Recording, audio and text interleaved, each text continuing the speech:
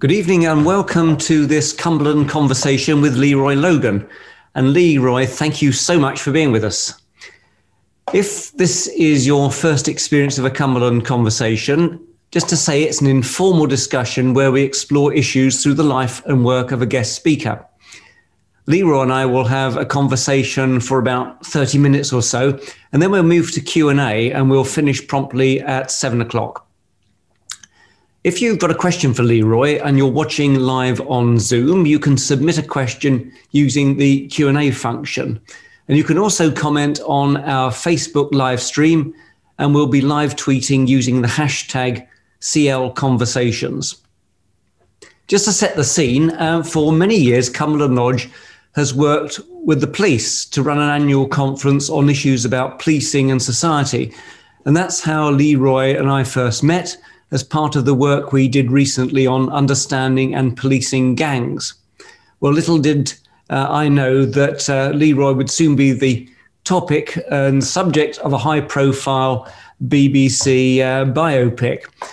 And Leroy, just to kick off, could you just tell us um, about about this this this this film, Red, White, and Blue, and uh, how how it came about, and um, and what's it about? Well, how it came about was as far back as 2015. I was uh, approached by uh, a journalist who's a freelance journalist, and her name is Helen Bart, a very good friend of mine. And she said, "I'm going, I'm going to record your story because someone quite prominent wants to hear various stories of police officers uh, from a Caribbean background or West Indian background during the 60s, 70s, and 80s. That's the scope of the time frame. So I said, fine. Uh, I did that sort of late 2015. And about mid 2016, I find out that it's Steve McQueen. And he's chosen my story, which I thought, and it was just after him um, getting the Oscar for 12 Years a Slave. So I, I was absolutely uh, gobsmacked, as they say. And I, um, sort of met him uh, later that year in 2016, and we got on really well because uh, he's from London as well, of Caribbean parents, and it was really just going from there. Got involved in the script, and in, in essence, the the my episode called Red, White, and Blue, out of the five episode Small Axe series, is around a father and son's um, relationship. Um, my father obviously wasn't happy I would join the police, especially who was the victim of a brutal police beating while I was in the application process, and how that plays itself out in the long run. Um, that my, my my father, and in the drama, he actually supports me, and it's uh, it stops about there uh, after the first few years of, of, of my. Uh, you know, career, my 30 year career in the Met. So really, it's just talking about the issues of racism and uh, the institutional element of that, and how really we, we just need to um, reflect on these issues, especially with Black Lives Matter and the issues of George Floyd, and really make sure that we don't repeat the past. I mean, for anyone that's that's not seen seen it, it's really really fantastic. It's um, and it's available on iPlayer, so uh, you can watch it watch it actually, now. Actually, but, I should have said that A-lister John Boyega is playing me. So yeah, that's another attraction, um, and and that was beyond my wildest dream. Not only meeting Steve McQueen and being part of it, but then to be told that John Boyega was going to play me and he did an amazing job. And I, I don't know if you know, but uh, he's been nominated for a Golden Globe for the small screen. Um, so we're really pleased about that. Well, I was going to ask you, what's it? What's it? How did it actually feel when you went? So, did you have any any say whatsoever in the casting? Not so much in the casting, but around the script yeah. and, and, around the, the, the sets and making sure that the uniform and all of the sort of um, paraphernalia that police officers carry is authentic, the police car, etc. And, and, they were quite fortunate that within the crew was a retired cop as well. So he really did an excellent job um, to advise Steve.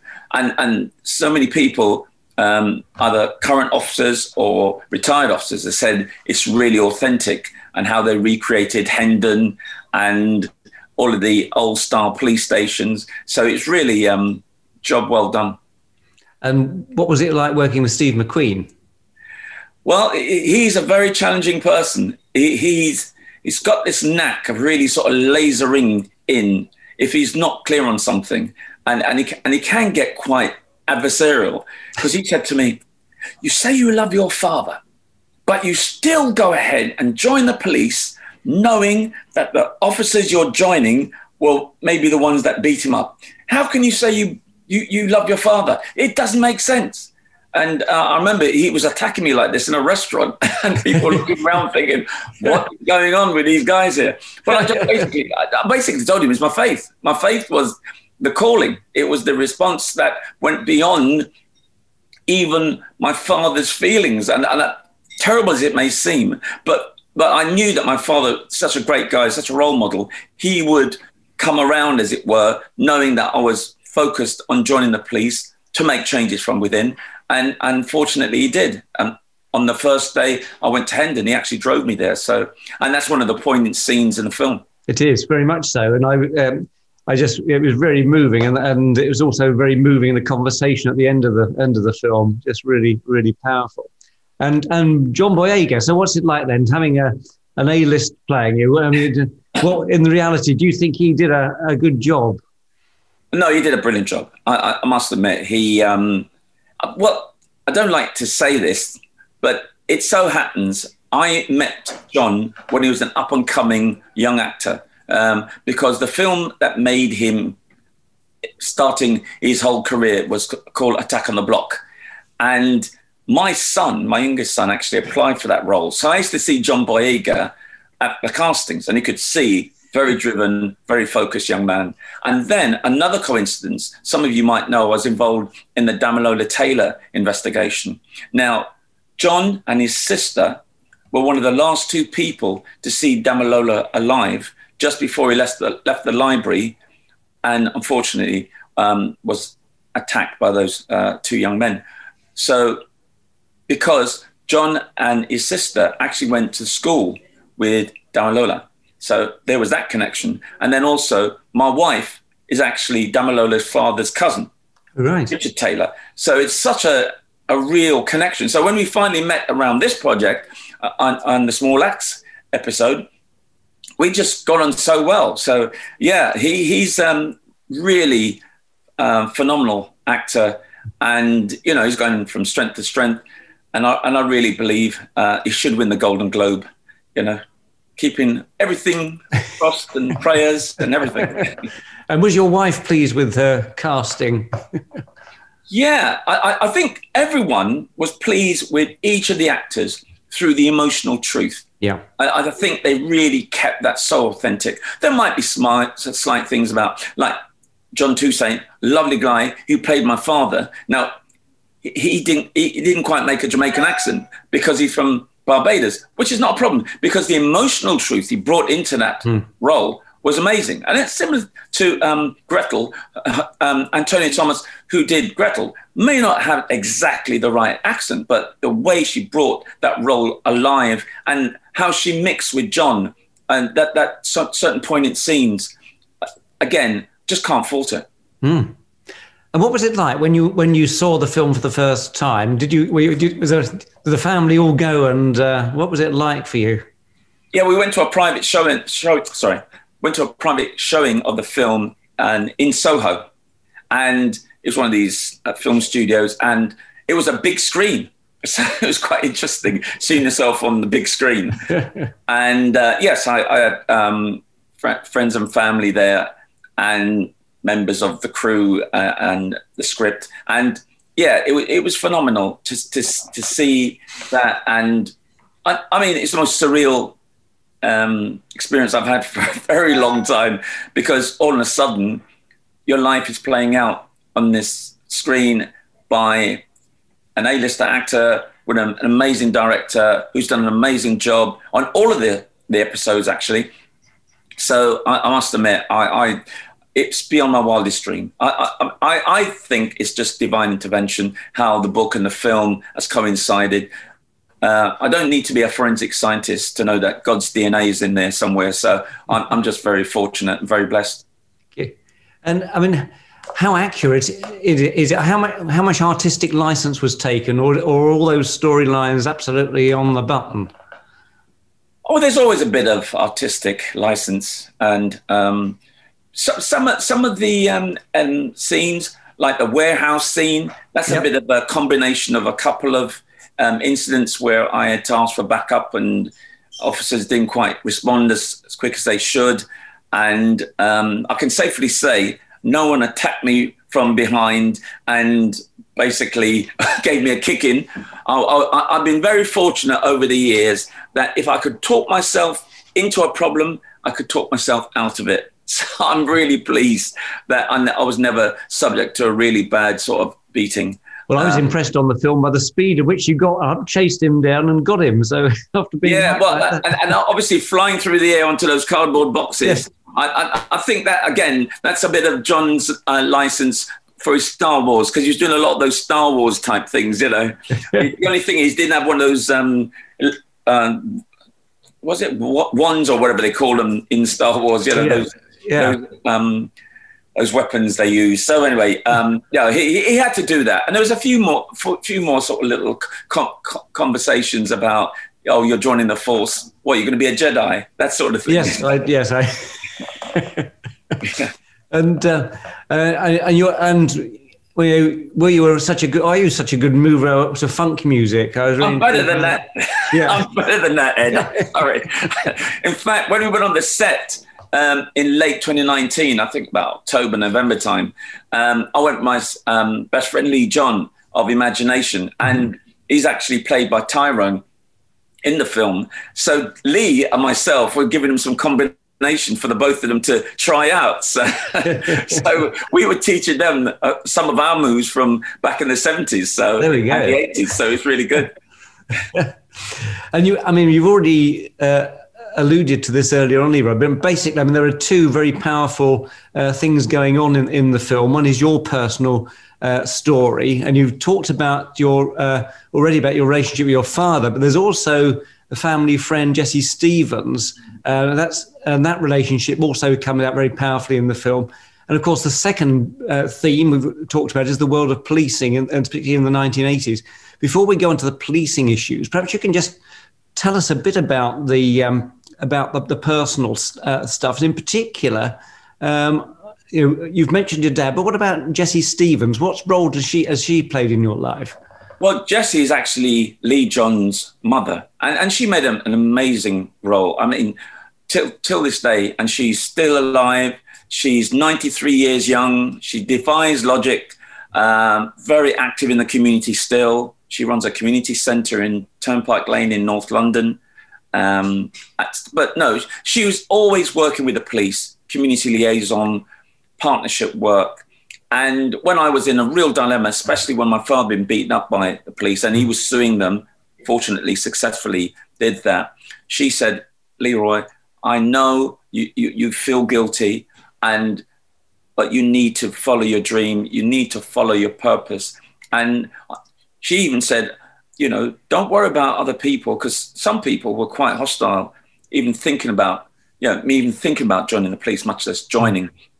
I, I actually said, if you ever want to reduce a Christmas card list by 99%, join the police. you know, that's one way you cut a lot of friends down. But, but that's for anyone, regardless of their background. But there's an added complication, an added um, sort of consequence, really, that people think, well, you're letting the side down as a black man joining uh, a racist organization. That's how they see it. Mm. But Jessie put me at ease with that. Say, listen, we need to have a reflective organization. We need to, you know, you need to be in it to change it. You know, mm. you can't steer a ship from the shore. You've got to be on board in the captain's cabin to make those changes. And fortunately, that was such an encouragement. And throughout my career, she was a real encouragement. And even in retirement, she she still is. So her presence in my life was just as important as anyone else when it came to my police career. And uh, yeah, I, I call her mum since my mother's passed away um, almost 20 years ago now. You know, I call her mum. So I'm, I'm very blessed with that, that relationship as well. Well, it, it does come out wonderfully in the film. And um, the, I mean, the film ends with that very poignant scene with you and, and you and your dad, and he becomes reconciled and understands why you've made your decision. And but what then happens next? What happened? What after the? What's your career trajectory after that film? Well, in in all honesty, um, I should really plug my book. Really, sitting al- alongside me there. Um, yeah, I, I'd say that the film is great, but it's still only the starter. The main cause is that bad boy there, and you know I, I'm really pleased that the book the, the book actually takes you on that journey, and and a lot of it is a spiritual journey, and and, I think there, there's a certain amount of that spiritual connection between John and and um, Steve, who play me and my father, because there, there, needed to be that, and that sort of sense of you know st- stepping in faith and and really understanding that that if you're keep sticking to what your your vision is, you know, certain things will make uh, you will make breakthroughs, and uh, that's what my career is all about. And, and and I suppose a lot of the ways I have gone through breakthroughs is to be in the eye of the storm. You know, mm. some people say, "Well, I'm not going to go in the eye of the storm. I'm not going to come out my comfort zone." But but sometimes your worst nightmare can be your biggest breakthrough, and that's the opening line of my book. Really, mm. that's really what the book is all about and the next steps after the film. And I'm looking for anyone who wants to make it into a series, or, or I'm not precious that it could be fiction if you want to. But no, I, am I'm, I'm. There's quite a few people have shown an interest, but you know um, that sort of TV world's quite difficult at the moment because of COVID and everything. But um, I, I'm, I'm, I know that there will be next steps. Because a lot of people have said, please do another edition or another episode or a series. So we're working on that. And sort of thinking about you, the other things that you've done in your in your career. I mean, you you you've been involved in the uh, inquiries over the death of Stephen Lawrence and Damilola Taylor. What do you think's come out of those inquiries, and um, do you think they really had impact? Oh, absolutely. Pre Macpherson, casual racism, the N word, the W word, I, I even had the N word, and um, you know, massive words, uppercase on my locker, mm. all these sort of things. That stopped or reduced significantly. I would say 95%. So you never had that sort of discourse in the canteen, or you saw mm. officers um, being overtly racist to members of the public, etc. That stopped. And then Macpherson brought in so many different um, changes. It was a change agent for the organization. It was like a royal commission in a lot of ways. Mm. And, um, but the important thing is they had independent oversight to monitor the progress, all the performance indicators. So those 70 recommendations, majority were police, but including education and health, etc. But the uh, Home Secretary Jack Straw at the time, he developed the Stephen Lawrence Steering Group and that was the way in which he could monitor progress against all the force areas and other ministries. And it had Neville Lawrence and myself was even on that um, group as the first chair of the National Black Police Association. And that's what kept chief constables and the commissioner to account because what gets measured gets done. And it's quite clear that we saw that exponential progress in terms of more reflective organization from 2% black and minority ethnic to 12% in the first 10 years. Mm. Massive improvement. We saw family liaison officers being developed, um, independent advisors groups. Also, the Race Relations Amendment Act came out mm. of that, and hate crime on the statute books. So there's some massive changes. Um, unfortunately, the first 10 years didn't get replicated by the, the following 10 years. That brings us up to uh, 2020 in terms of austerity has eroded all of the sort of citizens focus work with safer neighbor teams and safer schools officers. And unfortunately, um, even the Brexit factor is emboldened certain people that hate crime went through the roof. Mm-hmm. And unfortunately, the police are a reflection of of the public. And so you start to see a bit more of that um, type of racist comments coming through, which we never used to see before. So, and you know, and, and my, my concern is is not 10 steps forward and then 10 steps back, because I don't want to see the police in its current position, which reminds me of a pre Macpherson era. It's sad for me to say, but that's one of the things I have a real issue about. And, and, and, and it's not around the race and equality issues, around the firefighting type policing. You know, we're not seeing the proactivity that you used to have before, especially with the black community. Well, something you, you sort of alluded to in that was about the nature of police and, and, and the wider population. And one of the things that I was, lines that really struck me in, in the film was that um, uh, you quote Sir Robert Peel, the founding father of modern British policing. Perhaps you could just remind us what the, the, the Peelian principle behind uh, policing in this country is. Well, I, to, be, to be honest, I, again, I say it in the book. It, I mean, Sir Robert Peel, in 1829, when he set up the Met Police, or, you know, Bow Street Runners, as they were called, and Peelers, he said that the police are the public and the public are the police. There needs to be that contract. And especially the target group of people you need to work with, especially the ones you may not be engaged in. And at the moment, with knife crime being horrendous, and, and not just in London, but in different towns and cities, you need to engage with the young people.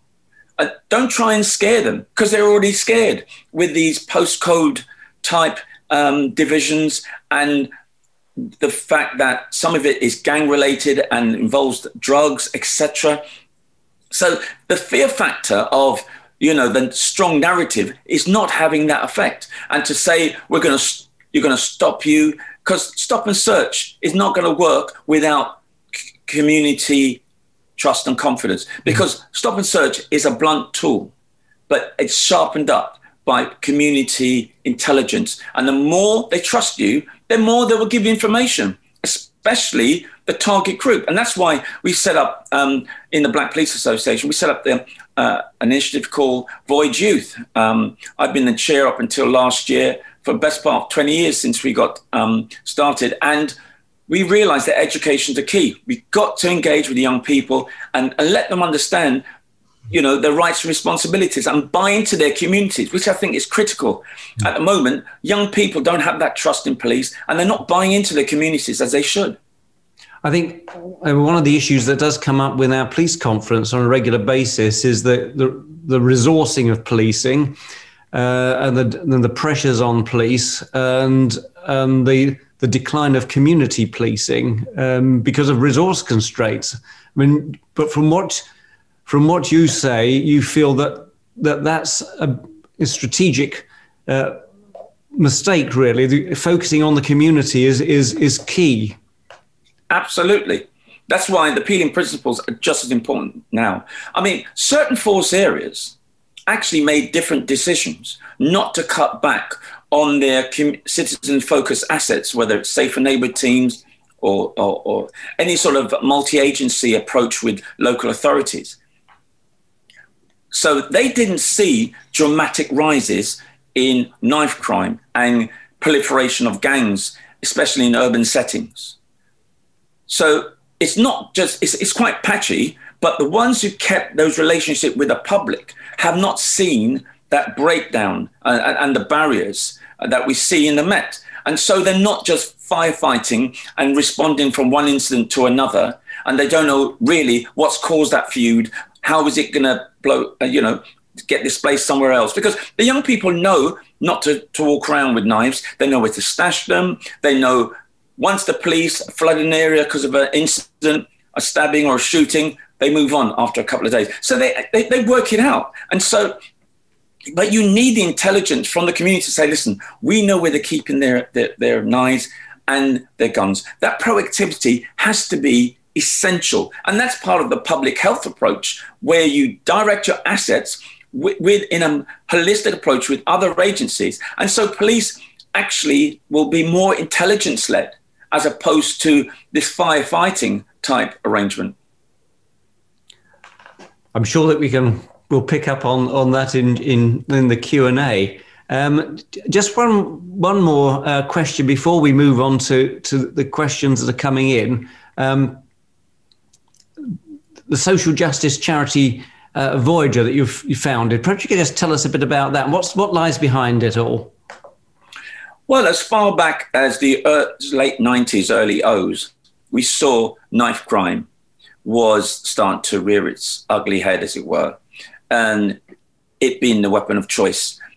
So we realized again, education was the key. So working with the target group of young people who are prone or risk to be manipulated or brainwashed into using a knife or getting involved in negative peer groups or even gangs. So we realized that giving them um, a real immersion into policing, and we used to take them up to Hendon for a residential. Now we take them to outward bound um, adventure areas.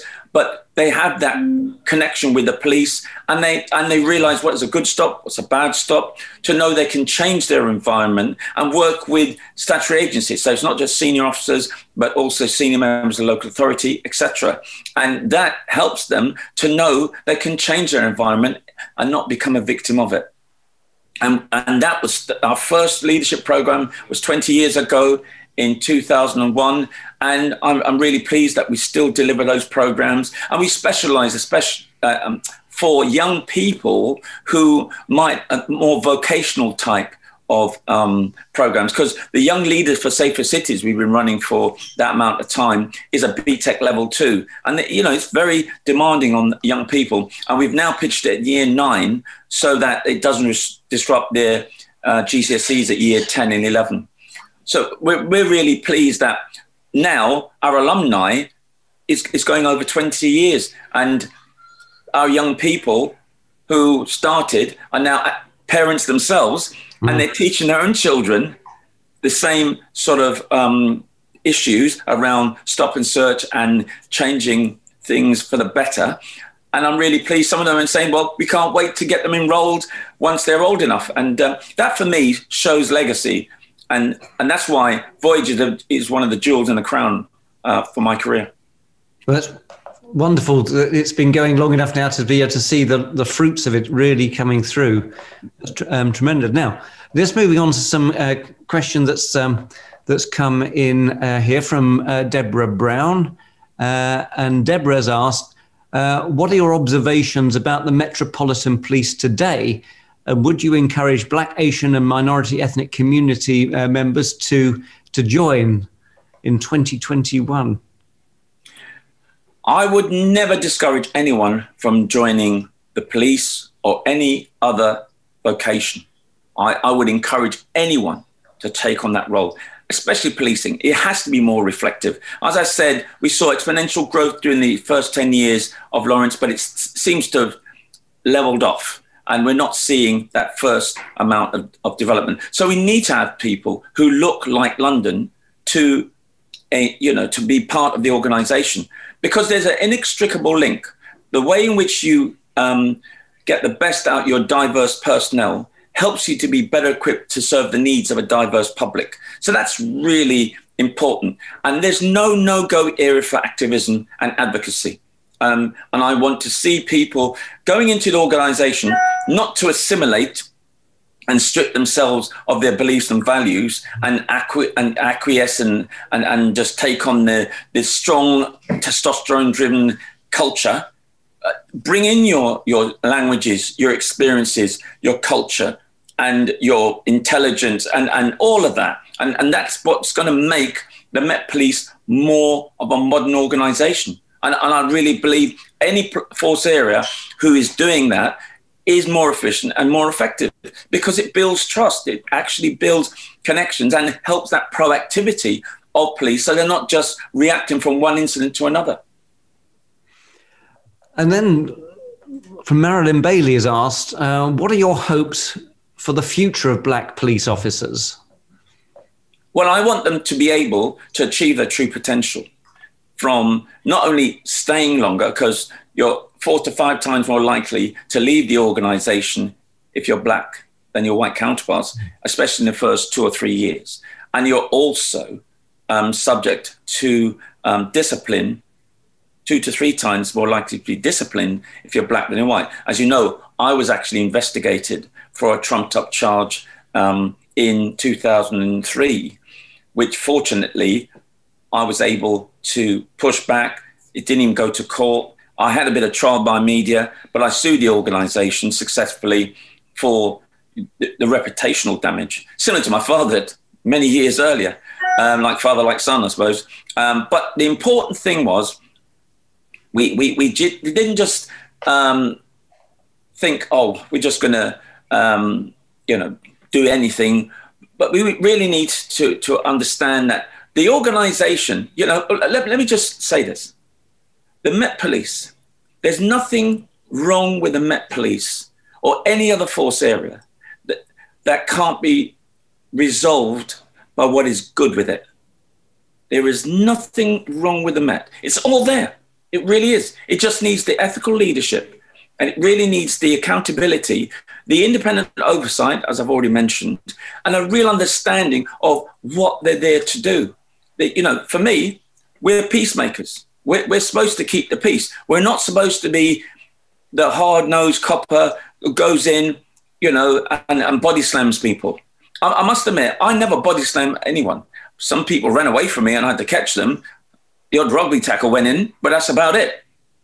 I was not into this really, you know, trying to overpower people by the strength of, of your, your might. I, I, I like to use the strength of my relationship I'm, I'm having with people. And I, that's the sort of thing I want to see coming back into policing that light touch, that real understanding, and, and, and let it be, you know, something that we can all say we contribute because communities police themselves. It's, it's not just police, police communities, police. So communities actually police themselves. And, you know, especially how we've seen, you know, it, it, in, to make stronger communities where, you know, it's not, you know, um, crime infested, but you start to see people who actually buy into the communities, especially young people. If I can only emphasize, we need our young people to buy into their communities and, and feel a sense of belonging. Thank you. And then we've got a question here from Thomas Probert, who asked uh, You characterize stop and search as a blunt instrument, but hinted that it could be used in a more intelligence led fashion. Taken together with your observation that what gets measured gets results, how important, in your view, is the collection of racial data about police street contact? Well, I, I think all data is important. It's how you analyze that data. Because I, I think one of the, the issues um, I, I always hear is, well, it's because more black people on the streets. And so they're the ones that are going to get stopped. To, to some extent, that could be right, because more white people, let's say in Glasgow, get stopped for, for, for stop and search.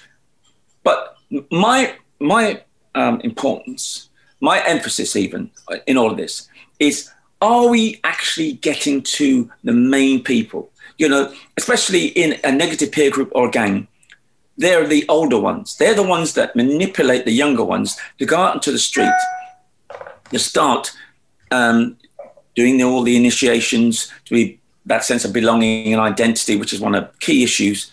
And they go and do a robbery or, or they stab someone and, and all these sort of maidenly bad things. But we don't get to the older ones mm-hmm. because you can arrest them, but there'd be another 10 or 20 to take their place because that treadmill does not stop. So you need to get that real understanding of who to stop, when, and where.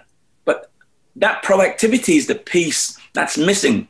And I think the, the, the other thing is through the decade, there is a real issue about how police officers perceive black men.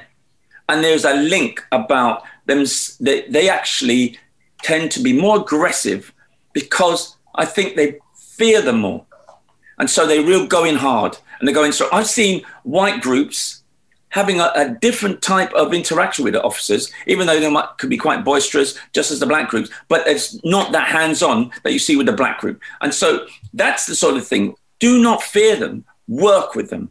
so they can tell you about the older ones that manipulating the youngsters that you might be stopping on a regular basis. And, and so, unfortunately, one in 10 of those stops end up in something, and the other nine out of 10 is causing resentment. Well, you know, if, if it was a private organization, you'd be bankrupt in no time.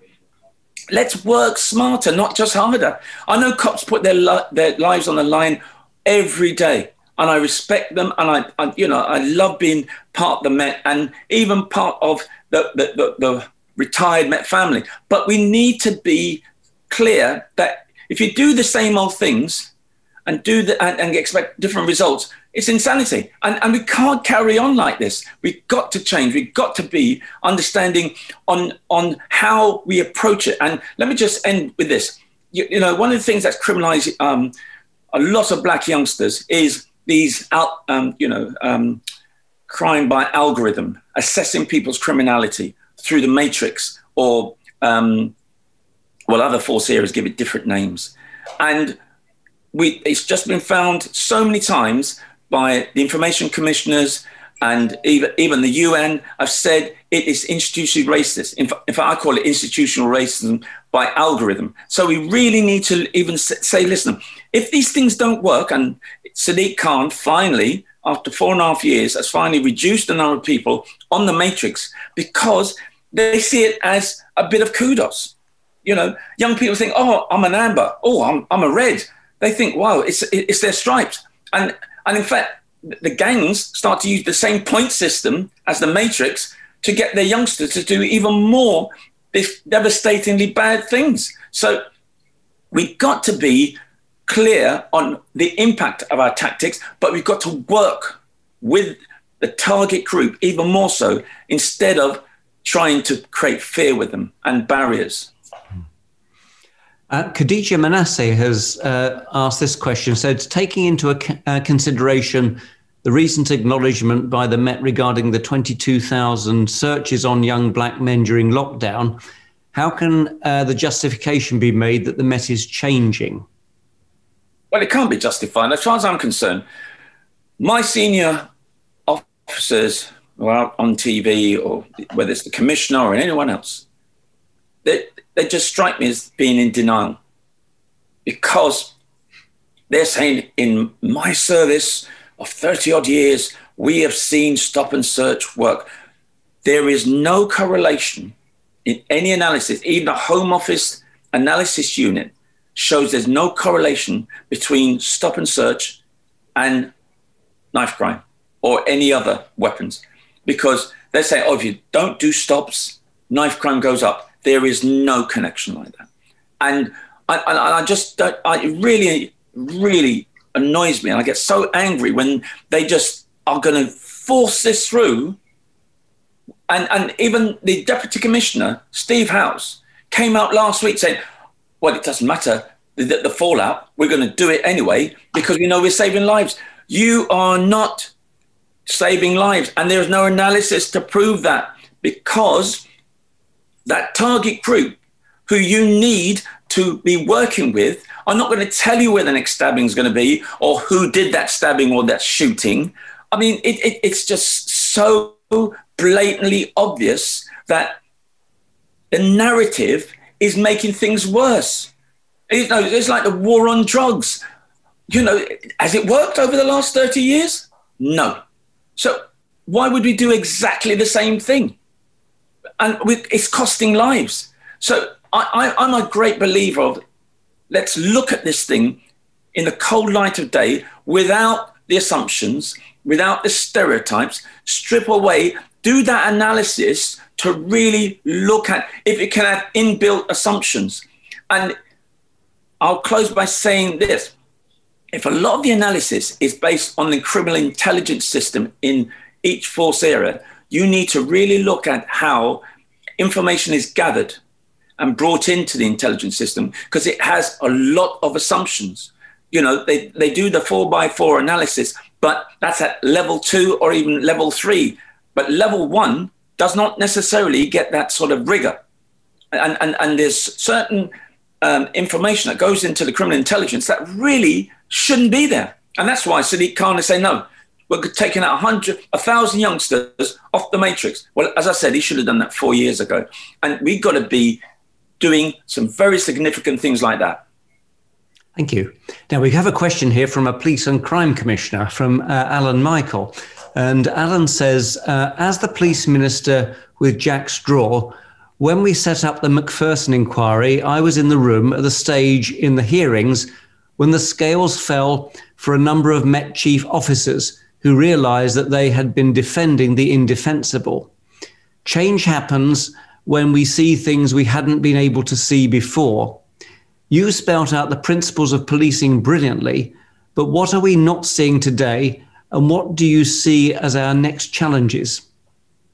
Well, I just want to say, um, Alun, I remember you, um, and I remember um, not only Macpherson, but also your Home Affairs Select Committee on young black people and the criminal justice system, and that was in 2007, I believe. And um, that sort of work, I think, was so, so amazing because he was looking at the target group and how you work with them.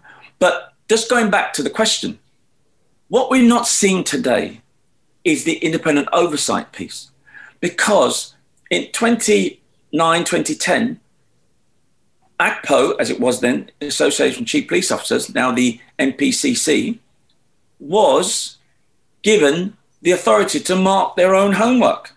So in a success driven organization, I don't know any chief constable is going to mark um, him or her is going to mark their organization down. And so there's no actual peer review. I mean, HMIC is supposed to do that, but they, they really haven't got the teeth to say, hold this is not being looked at in a way that should. And you will be reprimanded. Because that's the sort of strong leadership that Jack Straw was doing you need to shape up or someone else will do it you know that sort of thing and and, and i think that's what i want to see happening. There needs to be that assessment of progress and the results. And more importantly what is the impact? Is it building trust and confidence? Is it starting to see more intelligence getting into the organization so you're a lot more proactive? Is it actually um, you get a more reflective organization. And so you, you are getting better clear ups for stabbings and shootings. Because at the moment, the, the amount of clear ups for these things is practically half what it was 10, 15 years ago. We used to pride ourselves in the Met that our clear ups for murders was 80 to 90%. It's almost half that now because no one's talking to. And then, to be quite honest, if you don't make people feel safe, they're not going to write a statement. They're not going to go on an ID parade. They're not going to give evidence to court. Because if you can't make them feel safe, why would they put themselves on offer? So that's the thing. Go back to basics, making the reassuring people. Not only reassurance patrol when they're stabbing and shooting, but build those relationships on a sustainable way. And that's what I want to see coming back that citizens focused approach built into the public health model, which we know works. We've seen it working in Thames Valley, in Glasgow, in West Midlands. And, and it needs to be policy driven, not just personality, because we've seen too many chiefs move on and it's lost. Or senior leaders, they move and that policy is gone. We need, it needs to be strong, policy driven, and it has to be monitored by independent oversight. Thank you. Now, Sylvia Zanin has asked, what do you think about call about the calls to defund the police? No, I don't like that term defunding. I, I've been on record to say it's unhelpful. But when you look at what they're suggesting over in the States, and I know defunding police came from Black Lives Matter in response to George Floyd, etc. But when you strip into strip away all the rhetoric and you look at what's going, what they're actually advocating, they're talking about directing police assets to areas where they've got the expertise. So you don't get police going to mental health cases because a lot of ways just by it's not necessarily what the officers do but just by turning up with the blue flashing light and the siren and you're in uniform it triggers people especially if they're vulnerable with mental ill health or drug induced psychosis or, and, and if they're in some form of, um, you know, cause for concern, whether they're acting strangely or, or any form of, you know, concern that they can hurt people, then calling police is not necessarily the first thing to do.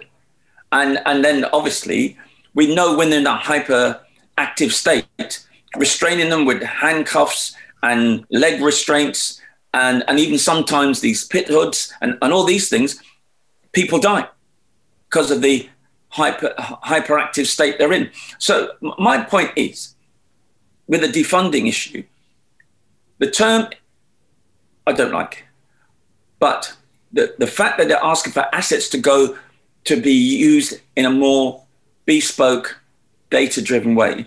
So, officers, if they're not going to the drugs or to the mental health cases, they can be directed more to dealing with the criminals who are dealing the drug dealing with, with, with the various forms of um, crimes that making our communities in fear. Uh, people are in fear. So that, that's what the public health approach is. That the public health approach is actually equivalent to defunding.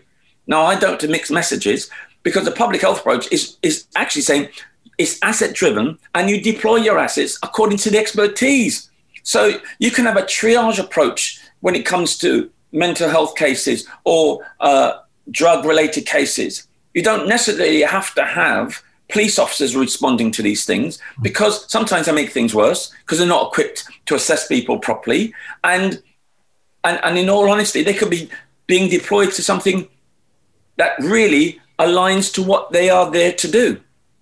So for me, the public health approach is the way forward, and it's not far removed from a lot of the defunding arguments. Thank you.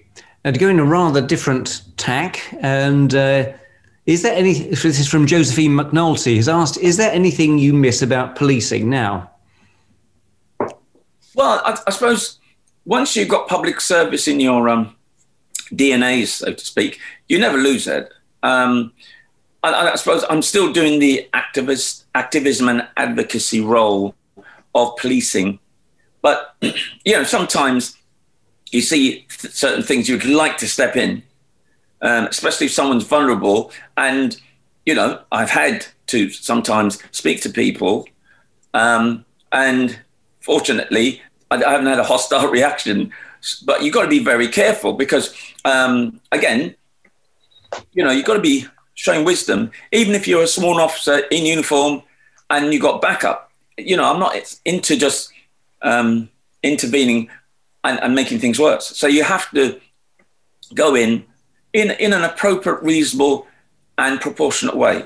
And um, I, I suppose then you're dealing with people and you're solving problems and you're building links with the community. That's the sort of things that really I miss being able to you know, crank that lever and get a strategy where everyone buys into and we, we, we see safer streets and we have people really seeing that police are for them and not against them. That, that, that, that's the thing. Uh, and I, I just love cycling around. I, I love patrolling. I just love talking to people and, and, and letting them see things in a totally different way. Um, I still do that now, but I must admit there is a certain amount of kudos when you're um, an officer, and, and, whether it's on the streets or, or, or, even when I was working on the Olympics, that was my last operational role. For me, it, it was great just to see, you know, the 2012 games being such a success and, and really joyful um, experience for everyone. And and that's the sort of thing I miss, you know, seeing um, the Met at its best. And I mean, obviously, you as a police officer, you retire early. Is the is the police good at at helping you at that stage in your life because you've got so much still to give? And uh, what's the process at the end? Well, it's not very good because I can I can safely say I don't know many, especially at a senior level. You don't get sat down and have a debrief, and people sort of want to really. Um, it's not commonplace to do that. In fact, um, my my sort of debrief in, in even the Met was in the Guardian newspaper because uh, a journalist said, "Have you been, um, you know, have you had your exit interview?" And I said, "No." He said, "Let's do it in the Guardian then." I said, so "I said, all right," but no, obviously there was no uh, official secrets or anything like that. But um, they're, they're, not very good at doing exit interviews. Um, but if you've got a very strategic role and, and you're going to leave a massive gap, then obviously they'll they'll make sure. But it, it, it, it's it's mainly the staff associations, whether it's the federation or the superintendents or NPCC, whatever. They they they they normally are a lot more bespoke how they you know make sure that officers are, are ready for that transition. And, and, going back to the question, I um, I I I actually really was looking forward to retirement. I, I, thought I've done my 30 years. I want to do something different. And, um, you know, I, I just wanted to be my own boss. I mean, I was always getting someone breathing down the back of my neck, you know. Um, sometimes it was investigating officer trying to, well, you know, trying to say I did something wrong. Or I'd get a senior officer saying, well, why are you saying that anyway? I said, well, it's the truth you know, so yeah, I, I must admit, I, I, feel there's a burden removed in some respects, being able to speak truth to power without feeling, well, actually, I'm making it difficult for my colleagues, and you know, am I doing it for my difficult for myself, for my family, all these sort of things. So um, I, I, just like the fact that I can devote a certain amount of time around the things I'm really passionate about, and I'm able to really, you know, um, dictate my own vision. And uh, so far, so good. Going back to the uh, the film, uh, Deirdre Osborne has asked this: "What was your interaction with the screenwriter Courttia Newland in making the script? Had you read his novels beforehand?" Yes, I, I uh, knew Courttia. Um, I didn't read all of all of his novels, but I knew, you know, well, I've got to do my due diligence to make sure the person who's doing the script really knew it um, um, in a way that I knew. Well, I knew Courttia could do a great job, and then I found out that Courttia lives just down the road from me, actually, oh, right. in East London. So, he, and, and, I was really pleased that he, he would call me quite regularly. At one stage, I was speaking more to Courttia than my wife, you know, because uh, you know he would say, "Oh, I want to make sure I get this right," and you know, so no, I must admit, most of 2018, writing this, um, Courttia and Steve writing the script, Courttia was my main point of contact. So, yeah, and, and I must admit, Courttia did an amazing job uh, with Steve. So, again, it, it, it's um, quite interesting that all the people involved in the film, uh, John Boyega, Steve McQueen, Courttia, myself, a, a lot of what the film was actually saying about the father and son relationship is very similar to what they, what we all had to go through in our own lives during that same period. Uh, mm. maybe a bit younger for John, but it's that same sort of period of that, you know, black father and black son, and, and humanizing it. So it, it, it again, it was. Um, it just seemed to chime all at the, all at the same time, and it was uh, just uh, such an amazing experience. We're running out of time, but time for two two final questions. Um, this is from an anonymous attendee. What is your best advice for someone in a minority group who is trying to change the status quo, either at work, in education, or in the community? Well, if it's in the community, work very closely with the community, and and because I, I said when I was joining the police, I'm a black man who happens to be a cop and now in retirement, I'm still a black man and, and working with the community um, in that active activism and advocacy. It, in terms of organisations, you need to have your internal staff support association and, and, and don't apologise that because uh, you're with people with that shared and common experience means oh you're into some conspiracy to you know erode the organisation. So build your, your own staff associations, even externally. Get a mentor, get like-minded individuals you know, you've got to talk these things through because it took us two years before we went public with the Black Police Association in 1994 because we needed to get that clear in our own minds in that critical mass as founder members. So that's the way you do it. Thank you. The final question is what's on the horizon for you now?